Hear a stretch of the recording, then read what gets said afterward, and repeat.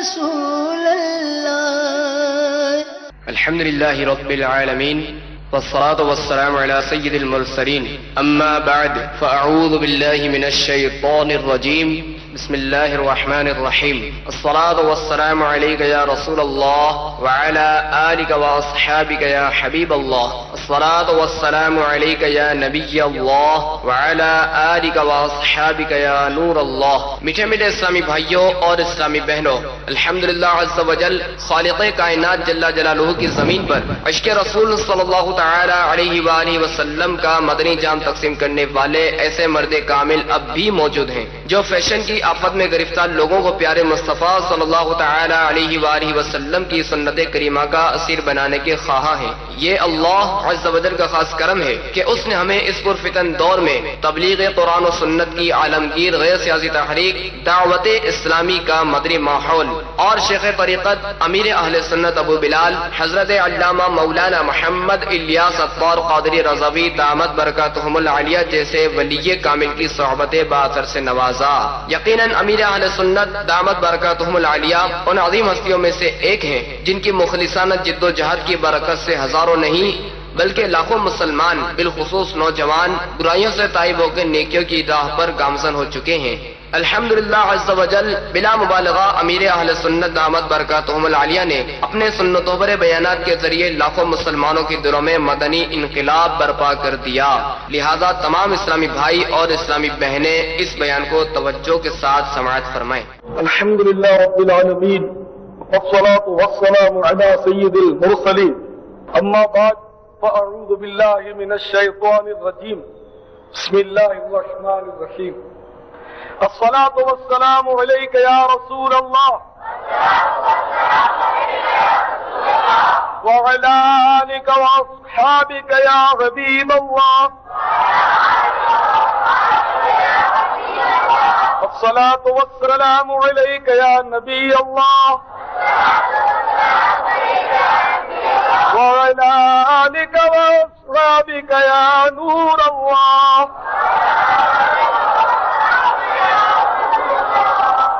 کرتے بھائیو، آپ کو میں ایک نہایتی عجیب و غریب واقعہ پیش کرتا ہوں۔ حضرت علامہ یافیوی شافیوی رحمت اللہ تعالی نے اپنی مشہور کتاب روز الریاحین میں یہ واقعہ نقل کرتے ہیں کہ ایک بزرگ فرماتے ہیں کہ میں ایک مرتبہ کعبہ مشرفہ کا طواف کر رہا تھا کہ یک بارگی میری نظر ایک خاتون پر پڑی۔ اس نے اپنے کندھے پر ایک چھوٹا سا بچہ اٹھایا ہوا تھا۔ اور اس طرح وہ ذوق و مستی میں ڈوبی ہوئی۔ آواز میں کہے جا رہی تھی، اے کریم اے کریم، میرا گزرا ہوا زمانہ بھی کیا خوب ہے۔ اس طرح کی وہ آوازیں نکال رہی تھی۔ وہ بزرگ جو تھے، بڑے متعجب ہوئے۔ اور اس سے دریافت کیا کہ محترمہ، تیرے گزرے ہوئے زمانے کی کیا کیفیت ہے؟ اور یہ جو مناجات کر رہی ہے، اس سے تیری کیا مراد ہے؟ تو وہ عورت کہنے لگی علی جا، میرا واقعہ بڑا ہی عجیب و غریب ہے۔ دراصل ہوا یوں کہ میں ایک تجارتی قافلے کے ساتھ ایک بحری جہاز میں سوار سفر کر رہی تھی۔ سمندر میں تغیانی آئی۔ طوفانی ہوائیں چلنے لگی اور ایک زوردار سپیڑا آیا اور ہمارا جہاز الٹ گیا۔ جہاز کے پرختے اڑ گئے؟ اور جتنے لوگ اس میں سوار تھے، سب کے سب ڈوب گئے۔ اللہ مگر میرے ہاتھ ایک بہتا ہوا تختہ آ گیا اور میں اس تختے پر سوار ہو گئی۔ بڑا سا تختہ تھا۔ میں اس پر سوار ہو گئی۔ اور یہی میرا چھوٹا بچہ بھی میرے ساتھ چمٹا ہوا تھا۔ ایک اور تختے پر نظر پڑی۔ تو اس تختے پر بھی ایک کالا حبشی تھا۔ شخصا کالے تھا وہ حبشی، وہ سوار تھا۔ ہم تینوں جہاز سے بچے تھے، باقی سب ڈوب گئے ہمارے تختوں کو پانی ہچکولے دے رہا تھا۔ کبھی ادھر پھینک دیتا، کبھی ادھر پھینک دیتا۔ رات کی سیاہی پھیل چکی تھی، ہر طرف اندھیرا تھا۔ ہم لہروں کے رحم و کرم پر تھے۔ اسی طرح بہتے چلے جا رہے تھے۔ بلاخر رات کا سینہ چاک ہوا، چاندنا ہوا۔ جب اجالا ہر طرف پھیل گیا، تو کیا دیکھتی ہوں کہ اس حبشی کا تختہ میرے قریب آ چکا ہے۔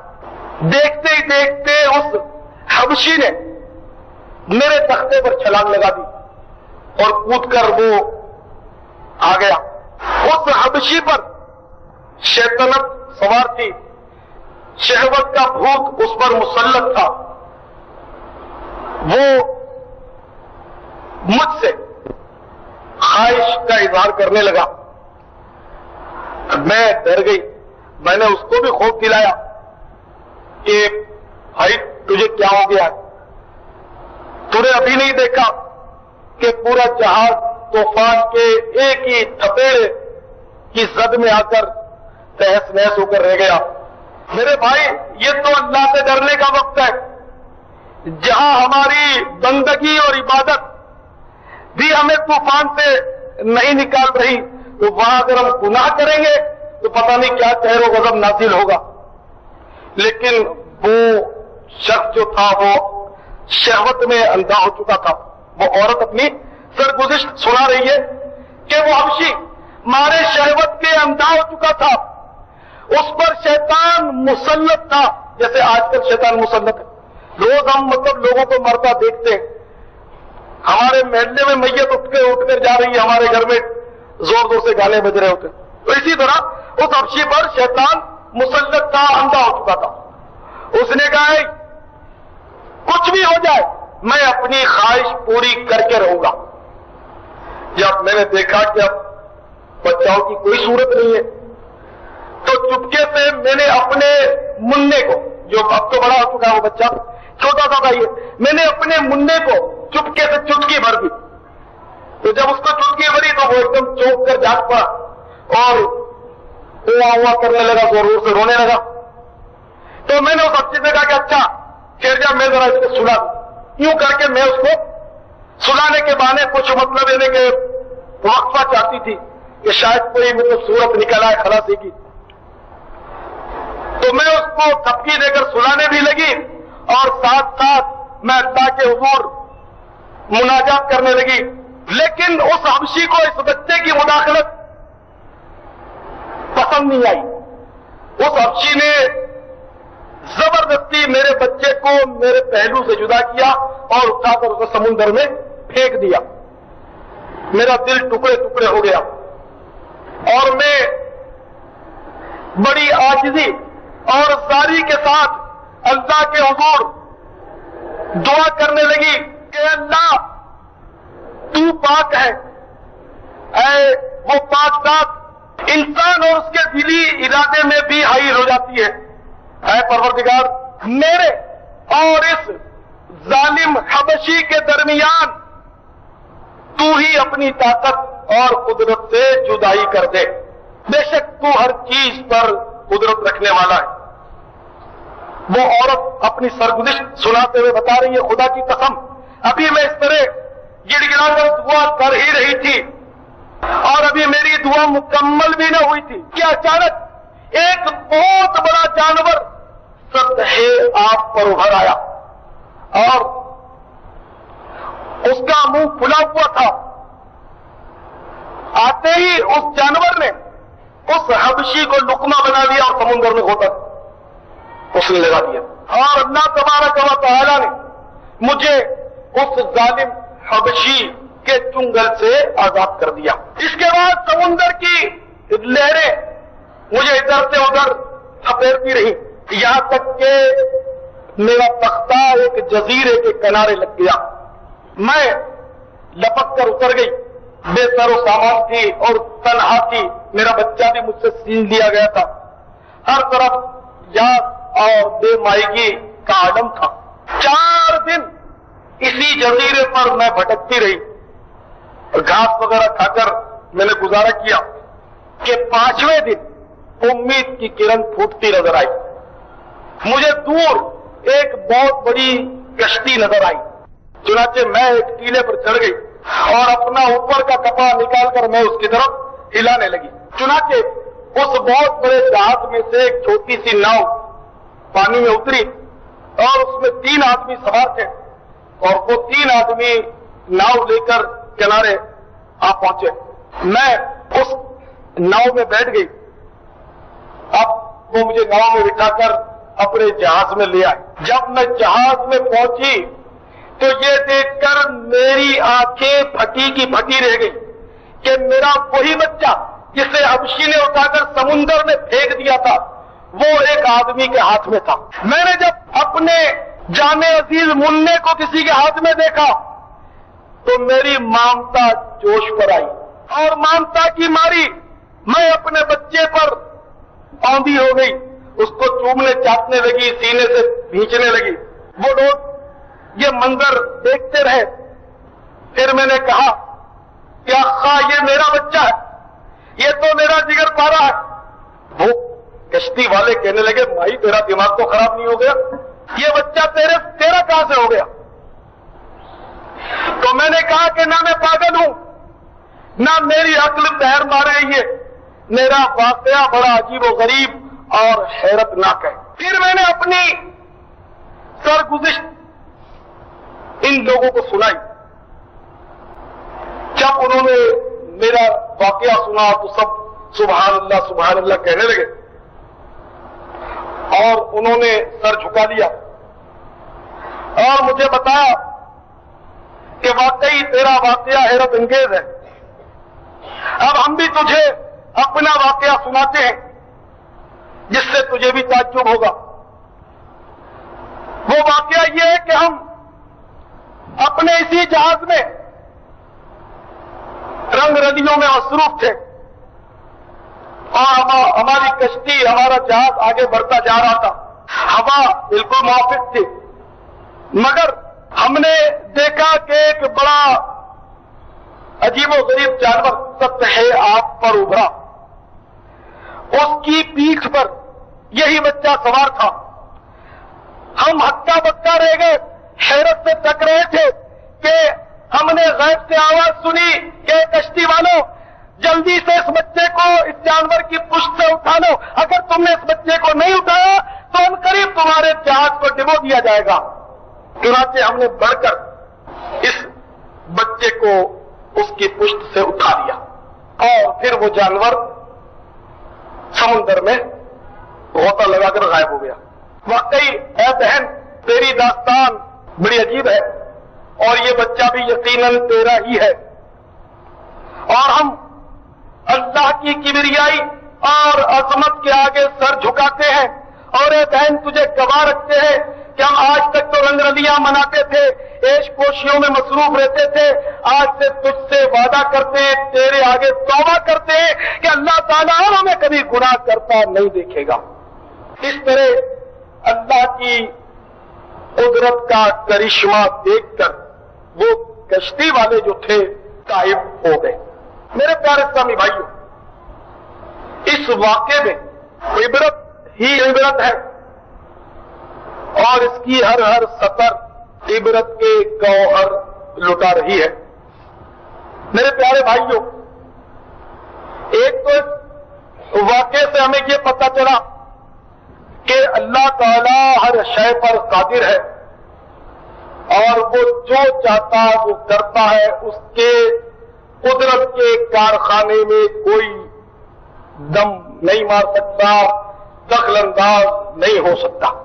دیکھیے، پورا جہاز ڈوب گیا اور یہ عورت، چھوٹے بچے سمیت بچ گئی۔ اور ایک حبشی بھی بچ گیا۔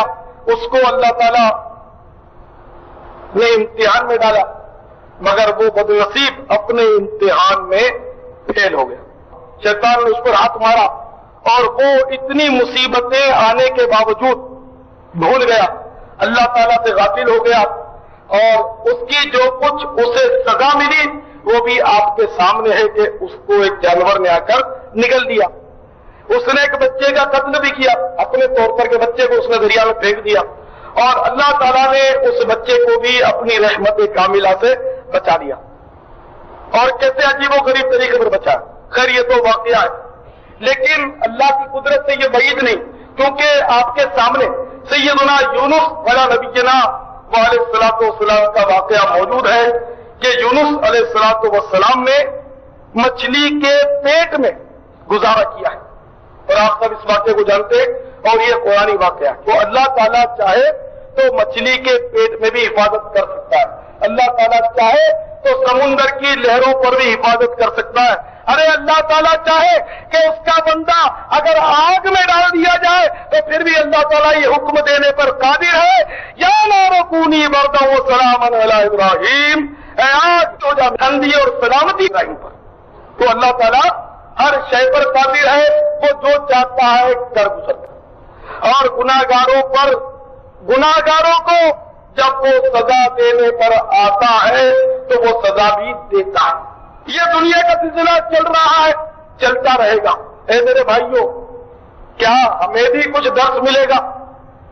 ان جہاز والے خوش نصیبوں کو آپ دیکھیے کہ انہوں نے جب اللہ کی قدرت کا یہ نادر نمونہ دیکھا تو وہ جھک گئے۔ اللہ کے حضور انہوں نے گردن رکھ دی۔ اور انہوں نے اپنے گناہوں سے توبہ کر لی۔ لیکن میرے بھائیوں آج کے معاشرے میں ہمارے دل کس قدر سخت ہو چکے ہیں۔ اس واقعے کا اثر یہ ہزاروں بھائی میرے بیٹھے ہوئے، شاید ہی کسی کے دل پر ہوا ہو۔ ورنہ اس واقعے کی حیثیت، اس حکایت کی حیثیت ایک قصہ کہانی سے زیادہ ہمارے نزدیک نہیں ہے۔ کیونکہ ہم اس بات کے عادی ہیں۔ اور ہم مطلب اگر بیان سنتے ہیں، خطاب سنتے ہیں، کسی کا تقریر سنتے ہیں، تو ہماری نیچر اور ہماری سوچ اور تھنکنگ یہ ہے کہ ہمیں مزہ آنا چاہیے۔ جس کے بیان میں ہمیں مزہ آتا ہے، لطف آتا ہے، اس کو سنتے ہیں۔ اور کوئی اگر کتنی سچی بات کرتا ہو، اگر ہمیں لطف نہیں آتا، ہمیں مزہ نہیں آتا، ہمارا بالکل اس کی طرف کوئی دل نہیں لگتا، ہم اس کو سننے کے لیے تیار ہی نہیں۔ کتنے بد نصیب تو بہرحال میرے پیارے اسلامی بھائیوں، اس واقعے کو سامنے رکھیے، وہ حبشی جب گناہ کرنے لگا اور گناہ پر ڈھیٹ ہو گیا، تو آپ نے دیکھا کہ اللہ تعالیٰ کا قہر اس پر نازل ہوا اور جانور نے آ کر اس کو نگل دیا۔ کاش گناہ کرتے وقت ہم بھی سوچیں۔ کہ ہم بھی یہ گناہ کر رہے ہیں۔ اس حبشی کے لیے تو جانور دریا سے نکلا تھا۔ کہیں ایسا نہ ہو کہ ہم پر آسمان سے کوئی بلا نازل ہو جائے۔ یہ بھی تو ہوتا ہے۔ آسمان سے بھی تو بلا نازل ہوتی ہے۔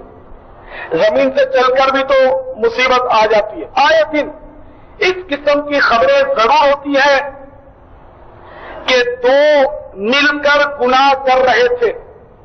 تیسرا آ گیا۔ بھائی آ گیا، شوہر آ گیا، باپ آ گیا، بیٹا آ گیا۔ اور ان دونوں کو کلاڑیوں سے کاٹ کر پھینک دیا۔ یہ اخبار میں روز پڑتا دو مل کر گناہ کر رہے تھے، گناہ میں مصروف تھے۔ بیٹا آ گیا، اس نے فائر کر دیا، فائرنگ کر دی اور دونوں کو ڈھیر کر دیا۔ بیٹا بھی پکڑ لیا گیا۔ اسی طرح آپ روز یہ واقعات پڑھتے آئے دن اس ڈاکو کو مار دیا، اس ڈاکو کو مار دیا۔ ڈاکہ مارتے ہوئے مار دیا، بھاگتے ہوئے مار دیا۔ اس نے اتنے قتل کیے تھے، اتنے اتنے الزام تھے اور وہ مطلب مارا گیا۔ فائرنگ ہوئی، آمنے سامنے پولیس کی اس کی مارا گیا۔ تو یہ اتنے لوگ روزانہ لوگ اچل بنتے ہیں، گناہ کرتے کرتے موت کا شکار ہوتے ہیں۔ لیکن اے میرے بھائیوں، کیا ہمیں بھی عبرت حاصل ہوئی؟ ڈاکہ ہم نہیں مارتے، آپ کہیں گے۔ دو مل کر جو گناہ کرتے ہیں، وہ چلو ہم نہیں کرتے۔ لیکن یہ تو ہی تو نافرمانیاں نہیں ہے کہ ہم سوچتے ہیں کہ صاحب یہ گناہ کرتے کرتے لوگ مارے گئے، تو ہم ڈاکو اور چور اچک کے تھوڑے گے۔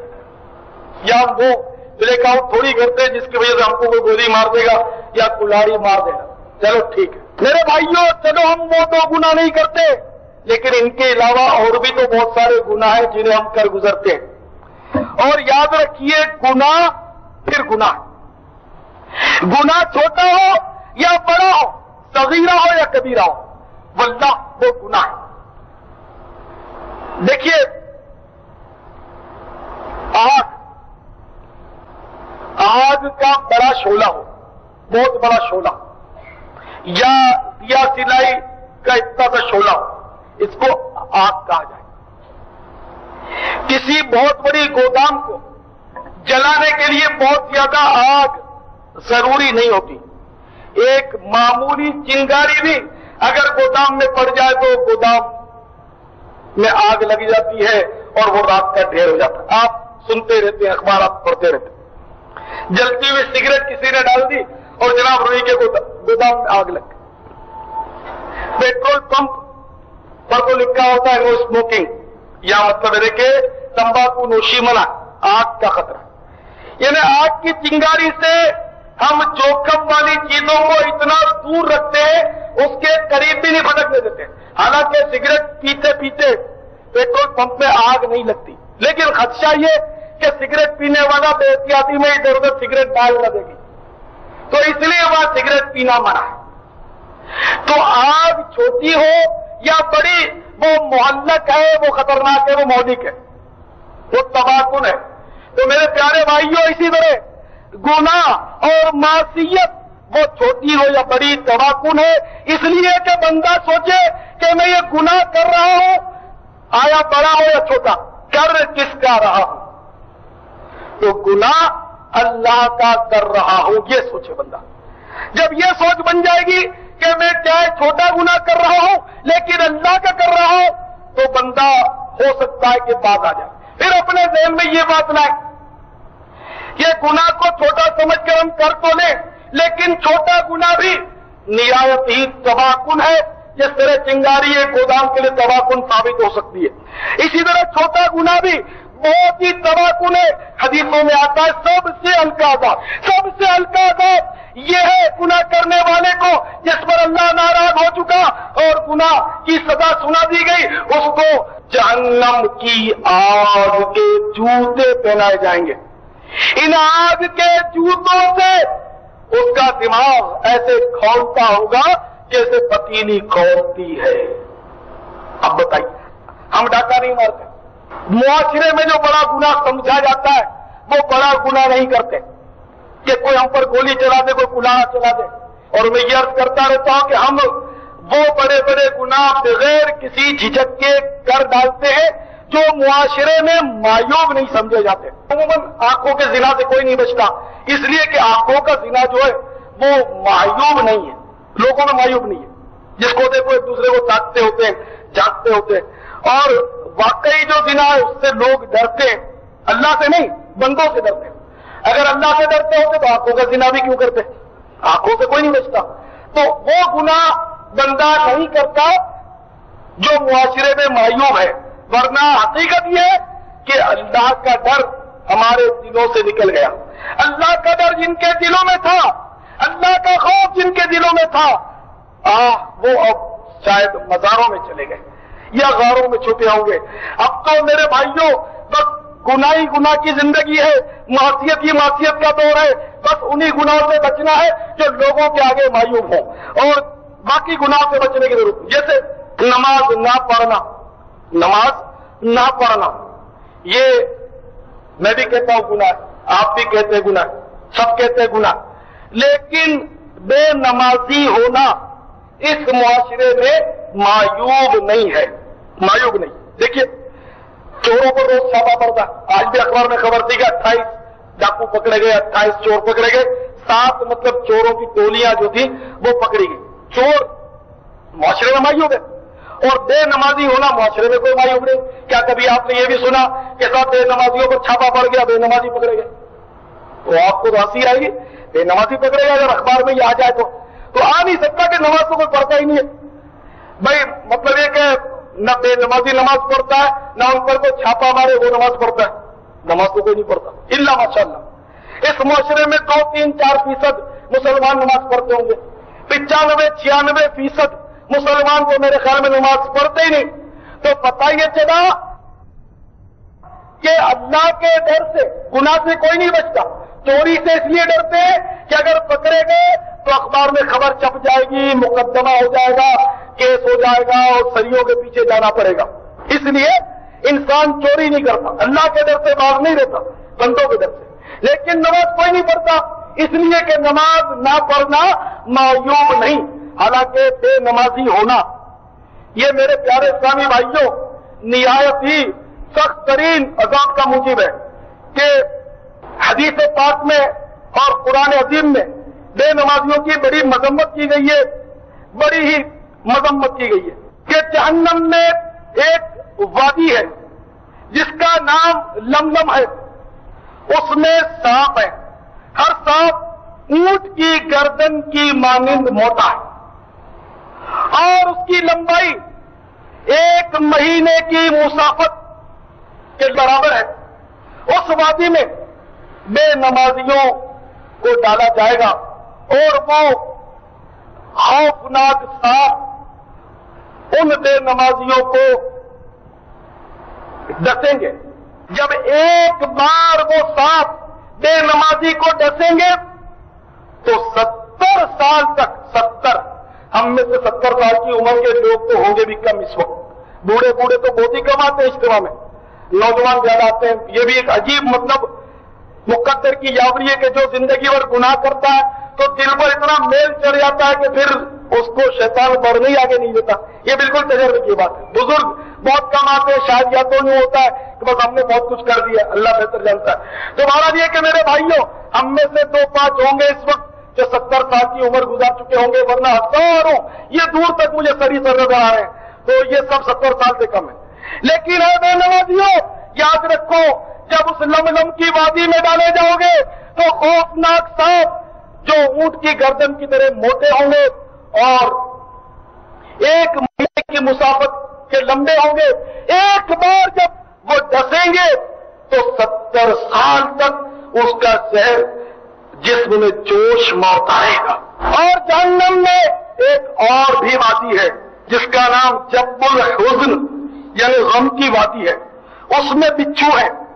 ہر بچھو سیاہ خچر کی مانند ہے۔ اس کے ستر ڈنک ہیں۔ اور ہر ڈنک میں زہر کی تھیلی ہے۔ وہ جو وادی ہے جب الحزن اس میں بھی بے نمازی ڈالے جائیں گے۔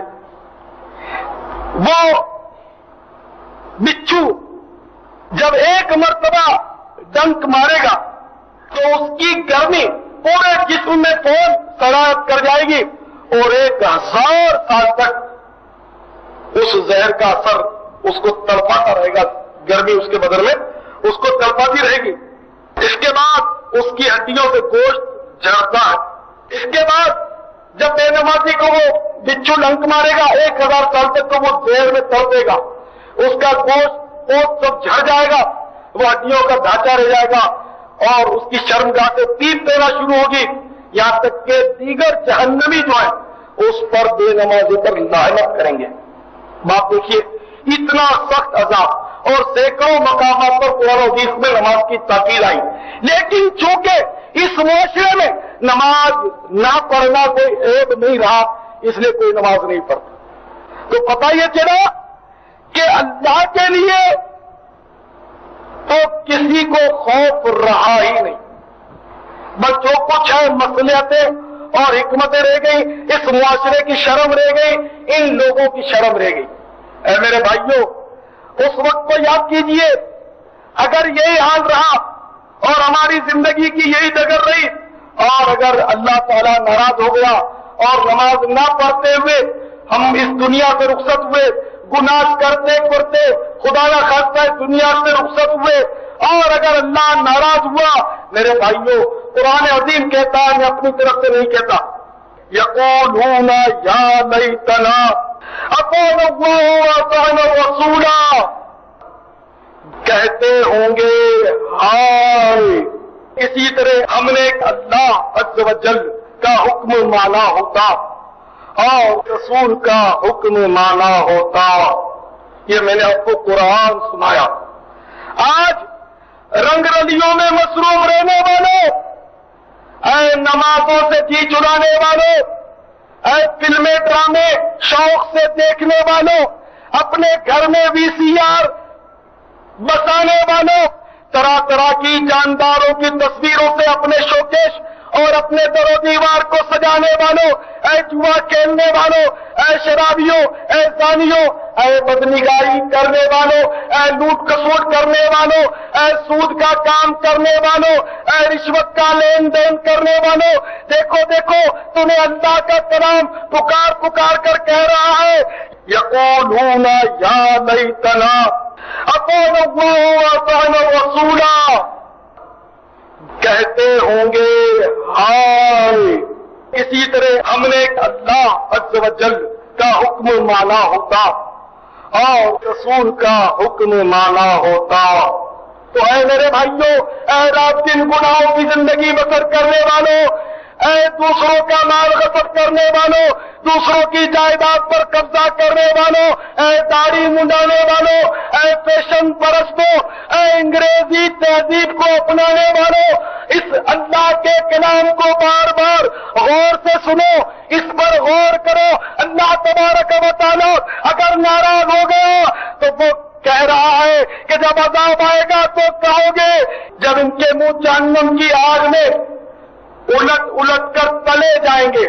دیکھو، منہ تلے جائیں گے۔ صرف آگ کی، ان کو آگ کی چنگاری نہیں دکھائی جائے گی، تپش نہیں پہنچائی جائے گی، بلکہ آگ میں منہ کو تلا جائے گا۔ جب منہ آگ میں تلے جائیں گے، پھر کہیں گے، یقولون یا لیتنا اطعنا اللہ واطعنا رسولا کہتے ہوں گے، ہائے!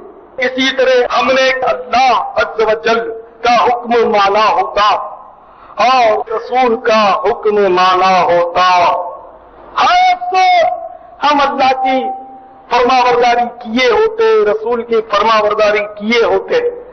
تو جب آگ میں منہ تلے جائیں گے اس وقت تو ہر ایک کہے گا کہ ہائے افسوس، کاش میں اللہ رسول کی فرما برداری کر کے اس دنیا سے چلا ہوتا۔ اے میرے بھائیوں لیکن پھر وہاں افسوس کرنا کچھ کام نہیں آئے گا۔ جیسے آج کوئی کسی پر گولی چلا دے اور اس کو حوالات میں بند کر دیا جائے، سریوں کے پیچھے دھکیل دیا جائے، ہتکڑیاں ڈال دی جائے اور اس کا الزام جو ہے وہ ثابت ہو جائے قتل کا۔ تو پھر تو وہ سر پچھاڑے گا۔ ہائے ہائے افسوس۔ کاش میں غصے پر قابو کرتا۔ ہاں میں نے حدیثیں تو سنی تھی کہ اللہ کے حبیب صلی اللہ تعالی علیہ وسلم نے فرمایا ہے کہ پہلوان، تم میں سے پہلوان وہ نہیں جو دوسرے کو پچھاڑ دے، بلکہ پہلوان تو وہ ہے، قوی تو وہ ہے، بہادر تو وہ ہے جو غصے کے وقت اپنے آپ پر قابو پا لے یہ حدیث سنی تو تھی، لیکن افسوس، میں غصے میں اندھا ہو گیا، میں غصے میں اندھا ہو گیا۔ یہ میں نے کیا کر دیا؟ اب تو اس کو نہ رات کی نیند ہے، نہ دن کا چین ہے، نہ شام کا سکون ہے، نہ صبح کا آرام ہے۔ ہر وقت اسے پھانسی کا پھندا نظر آ رہا ہے۔ اب دنیا کی کوئی طاقت اسے نہیں بچا سکتی۔ ہاں ہاں۔ جب بات بگڑ جاتی ہے، پھر لاکھ کوئی پچھتائے کتنا ہی کوئی زور لگائے، دنیا کی کوئی طاقت نہیں بچا سکتی۔ کتنے ہی بڑے عہدے پر رہا ہو، یہ عہدہ کیا ہے؟ خدا کی قسم، یہ دنیا کے عہدے بکواس ہے جو بہت بڑے عہدے پر تھے پوری دنیا میں، جن کی بات توجہ سے سنی جاتی تھی، اب بیچارے وہ اپنی کار خود ڈرائیو کر رہے ہیں۔ تو یہ دنیا کے ہوتے اس کے پیچھے لوگ مرتے میں تو حیرت کرتا ہوں، میں تو واقعی میں سمجھتا ہوں، یہ بیچارے عقل سے پیدل۔ یعنی اتنا اتنا دیکھنے کے باوجود، ایسی کرسی کو تو آدمی چولہے میں ڈال دے۔ اس کرسی میں کیا؟ جس کا کوئی مستقبل نہیں۔ انہیں جیتے جی زلیل کر کے اس کرسی سے اتار کر پھینک دیا جاتا ہے۔ کوئی مطلب یعنی کہ اس میں سباب نہیں۔ آؤ آؤ، میں تمہیں بتاؤں کہ کرسی کون سی پاورفل ہے۔ خدا کی قسم، آ جاؤ۔ اس سے پہلے کہ قیامت کے روز یہ کہنا پڑے، یقولون یا لیتنا اطعنا اللہ واطعنا رسولا کہتے ہوں گے، ہائے، اسی طرح ہم نے اللہ عز و جل کا حکم مانا ہوتا اور رسول کا حکم مانا ہوتا۔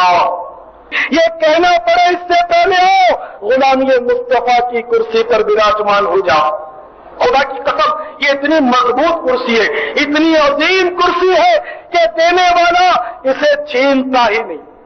اسے دینے والا کبھی چھینتا نہیں۔ جبھی تو کسی نے کہا اور بالکل سچ کہا کہ تخت سکندری پر وہ تھوکتے نہیں ہیں، بستر لگا ہوا ہے، جن کا تیری گلی میں، اے ہم نشی ازیت فرزان کی نہ پوچھ۔ فرزان کی مدد سیاح پن اے ہم نشی ازیت فرزان کی نہ پوچھ، جس میں ذرا سی عقل تھی دیوانہ ہو گیا جس میں ذرا سی عقل تھی، وہ مصطفیٰ کا دیوانہ بن گیا۔ اور جس میں عقل نہیں تھی، وہ دنیا کے دھندوں میں ایسا الجھا کہ غلامی کا قلادہ اسے یاد ہی نہ رہا کہ میرے میرے گلے میں کسی کی غلامی کا پتا ہے۔ تو آؤ سچے غلام بن جاؤ، آؤ داون مصطفیٰ سے نپٹ جاؤ، پکے نمازی بن جاؤ، میرے بھائیوں، پکے نمازی بن جاؤ رشوت کے لین دین سے باز آؤ۔ دنیا کے گناہوں سے رشتہ چھڑا لو۔ اللہ کے حبیب کے قدموں میں اپنے آپ کو ڈال دو۔ خدا کی قسم، دامن مصطفیٰ سے جو لپٹا یگانہ ہو گیا، جس کے حضور ہو گئے، اس کا زمانہ ہو گیا۔ خدا کی قسم، ان کی چوکھٹ پر اپنا سر رکھ دو۔ ان کے آستانے پر جب ہی سائی کرو، یہ ساری دنیا تمہارے پیچھے ہوگی۔ اور پھر تم خود کہو گے، تم خود کہو گے، ہم نے ٹھوکر نہیں کھائی یہ پڑے ہیں در پر، ہم نے دنیا اسی در کے لیے ٹھکرائی ہے۔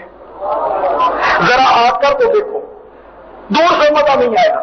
جب ذرا ان کے قدموں میں حقیقی معنوں میں سر رکھ کر دیکھو، یہ جو کہتے ہیں وہ کر کے دیکھو۔ دیکھیے، جب ان کے دامن سے لپٹو گے، ہو سکتا ہے آزمائش بھی آئے، امتحان بھی آئے۔ جیسے کہ ایک مرتبہ میرے آقا صلی اللہ تعالیٰ علیہ وسلم در دعوت سے باہر تشریف لائے۔ بھوک کے آثار چہرے زیبا پر نمایاں تھے۔ ایک صحابی نے دیکھا، دل پسیج گیا۔ آنکھیں بھرائی کہ اللہ کے حبیب صلی اللہ تعالیٰ علیہ وسلم شدت بھوک سے، شدت بھوک سے بےتاب ہے یہ دوڑے وہ صحابی دوڑے بازار گئے اور مزدوری کر کے کچھ کھجورے خرید کر آقا کے بارگاہ میں نظر کی۔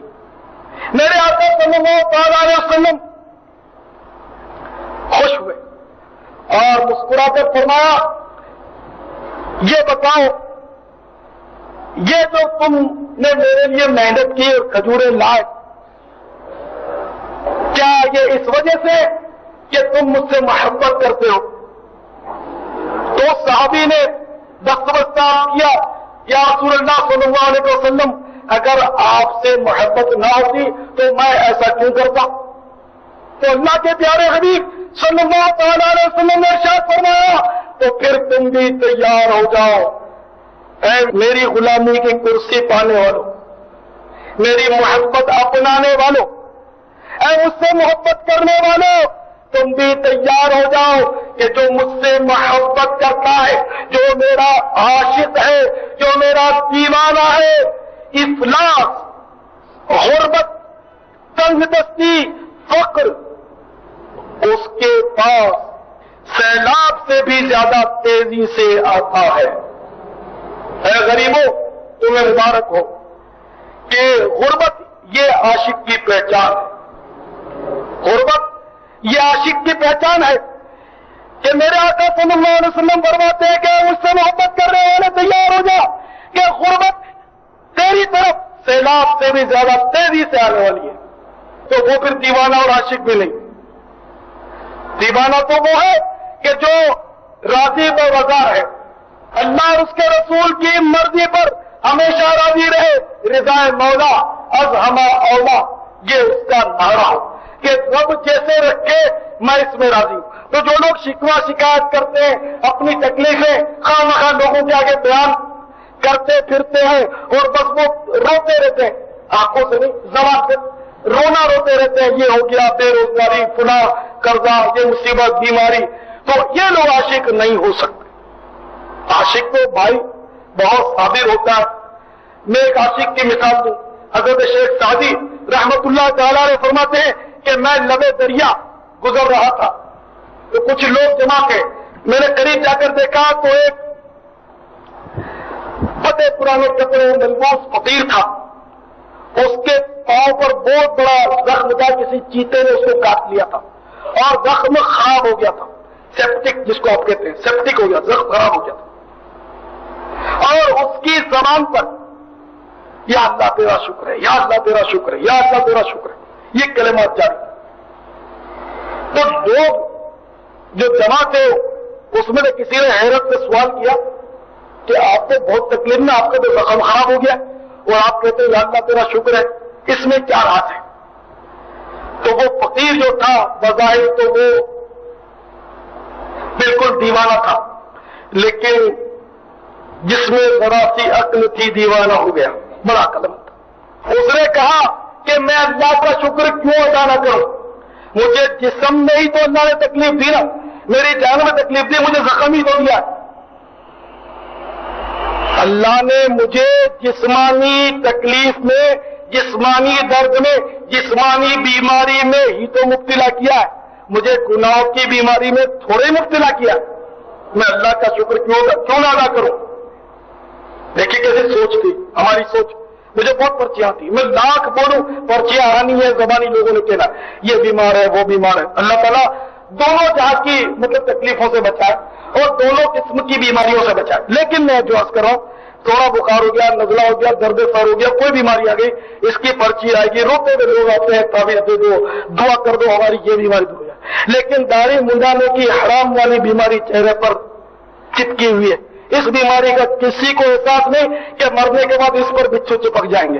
کسی کو احساس نہیں۔ اس بیماری سے دعا کرائے کیوں؟ جو اپنے آپ میں۔ جو پیسے دے دے کر بندہ بیماری لیتا ہے، خودکشی۔ اپنے چہرے کی خودکشی کرتا ہے۔ اپنے چہرے کو اللہ کے عذاب پر چھوڑ دیتا ہے کہ یا اللہ تیری مرضی ہو کر میں تو انگریزوں جیسا چہرہ رکھوں گا۔ تیرے حبیب جیسا چہرہ نہیں رکھتا۔ میں غلامی مصطفیٰ کی کرسی نہیں چاہتا۔ مجھے دنیا میں کرسی عزیز ہے۔ تو اپنے اپنے نصیب کی بات۔ ناراض ہوں اسی طرح۔ بے نمازی بھی آتا ہے۔ وہ بھی کہتا ہے، مجھے بخار نہیں چھوڑتا۔ ارے بھائی بے نمازی ہونے والی جو بیماری ہے، اتنی اشد بیماری کہ جہنم میں جھونک دیا جائے آگوں کی آگ ہوگی۔ ارے نہیں، قبر نہیں پوری قبر آگ سے بھر دی جائے گی۔ سانپ ٹوٹ پڑیں گے تم پر۔ اور قبر ایسی بیچے گی کہ بے نمازی تیری پکڑیاں توڑ پھوڑ لڑے گی۔ اس بیماری کا کوئی نہیں کہتا کہ بھائی میں نمازی بندوں کو تعویذ دے دوں میری بے نمازی پن کی بیماری دور ہو جائے۔ میری گاڑیاں بکنے والی بیماری دور ہو جائے، میری انگریزوں جیسے کافروں کا لباس پہننے والی بیماری دور ہو جائے اور میں سنتوں کا لباس پہننے لوں نہیں، ان بیماریوں سے کوئی اس لیے پناہ نہیں مانگتا کہ یہ بیماری تو اپنی لی ہوئی ہے، اپنے ہاتھوں کی کمائی ہوئی ہے، اپنے کسب کی ہے۔ تو اس سے کوئی پناہ نہیں مانگتا، ان بیماریوں کو کوئی خوفناک نہیں سمجھتا۔ خدا کی قسم، بیماریاں یہ خوفناک ہے جن بیماریوں کو ہم خوفناک سمجھتے ہیں، وہ خوفناک نہیں۔ ٹی بی کی بیماری خوفناک نہیں ہے۔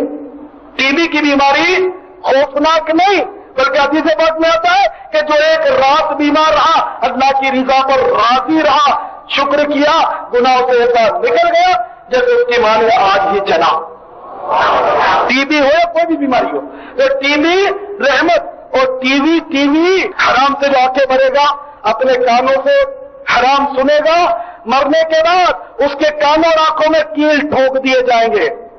تو ٹی بی میں اتنی تکلیف نہیں جتنی آنکھوں میں کیل ٹھوکنے میں تکلیف ہے۔ کینسر میں اتنی یقیناً تکلیف نہیں جتنی تکلیف کانوں میں کیل ٹھوکنے سے۔ حدیث بات میں آتا ہے کہ جس نے اپنی آنکھوں کو حرام سے پر کیا، اس کی آنکھوں کو آگ سے پر کیا جائے گا۔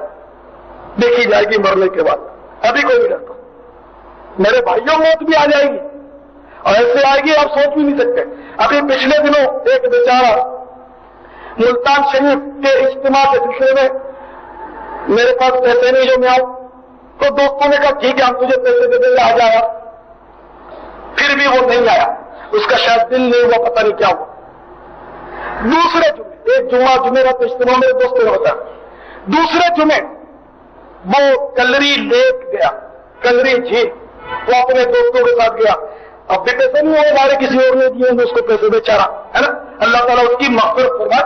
میں صرف اس دنیا کی محبت کی مثال دے رہا ہوں۔ آپ کو ملتان شریف پیسوں کی اس کو آفر کی، وہ غریب نہیں آیا۔ اس کے نصیب میں نہیں تھا۔ اچھا۔ لیکن وہ کلری جھیل سیر و تفریح کے لیے، تفریح کے لیے بیچارہ گیا اور کلری جھیل میں غریب ڈوب گیا۔ انتقال۔ اللہ اس کو غریب کی رحمت کرے۔ تو موت آئی کہ دیکھو آئی ایک میرا دوست آیا، حیدرآباد سے، اس نے بڑا عجیب قصہ بتایا۔ کہ میرا چچا، بڑا ماہر تیراک تھا، اور جہاز میں کام کرتا تھا۔ اور بڑا ماہر تیراک ایسا ویسے نہیں، بڑا ماہر تھا تیرنے میں۔ تو وہ کسی وجہ سے بیچ دریا میں کودا نہیں پھر کودا وہ بہت تیراک ہوتے دریا میں مچھلیوں کی طرح وہ تیرتے ہیں، جو ماہر ہوتے ہیں۔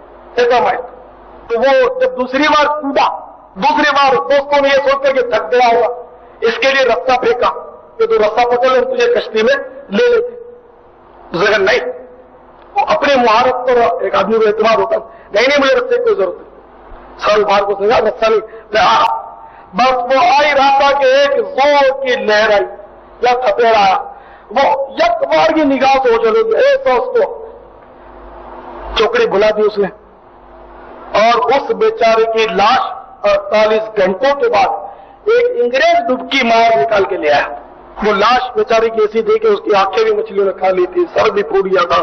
بالکل اس کا بیچارے کا اللہ تعالیٰ اس کی بھی مقصد تھا تو بھائی موت تو آئے گی۔ اور اس کی تو لاش مل گئی، پتہ نہیں ہم میں سے کسی کی ملے بھی نہ بھی ملے۔ کسی کو شیر پھاڑتا ہے، کسی کو درندہ پھاڑتا ہے۔ تو ہماری کرسیاں بھی یہیں رہ جائیں گی، ہماری دولت بھی یہیں رہ جائے گی، ہماری سربت بھی یہیں رہ جائے گی، ٹی وی وی سی آر سب یہ آ کر بڑے بڑے سانپ بچھو بن کر کہیں ایسا نہ ہو کہ ہماری قبر میں مسلط ہو جائے۔ تو پیارے بھائیوں اس سے پہلے پہلے، اس سے پہلے پہلے کہ یہ کہنا پڑے یقون یا نہیں تنا اپن وسولا کہتے ہوں گے، ہائے! اسی طرح ہم نے اللہ عز و جل کا حکم مانا ہوتا اور رسول کا حکم مانا ہوتا۔ اللہ نہ کرے یہ نوبت آئے کہ آگ میں مبتلا جائے۔ بے نمازی ہونے کی وجہ سے، گالیاں بکنے کی وجہ سے، غیبت چگلی کی وجہ سے، داڑھی منڈانے کی وجہ سے، انگریزی فیشن کرنے کی وجہ سے، گلے میں دھات کی زنجیر لٹکانے کی وجہ سے، بے جا جھگڑے کرنے سے اگر آگ میں منہ چلے گئے، پھر تو سب کہیں گے کہ کاش اللہ کا حکم مانا ہوتا، اس کے رسول کا حکم مانا ہوتا۔ اس وقت حکم ماننے کے لیے پھر دنیا میں میرے بھائی کسی کو نہیں بھیجا جائے گا۔ آؤ، آج مل کر سچے دل سے توبہ کر لو۔ اللہ تعالیٰ اپنے حبیب کے صدقے میں ہمارے حال پر رحم فرمائے۔ اللہ کرے کہ ہمیں دنیا میں اطاعت اللہ رسول کی کرتے رہے۔ اور وہاں جا کر یہ نہ کہیں کہ کاش ہم نے اللہ رسول کی اطاعت کی ہوتی، بلکہ ہم اطاعت کر کے جائیں۔ اللہ تعالیٰ ہمارے حل پر رحم فرمائے۔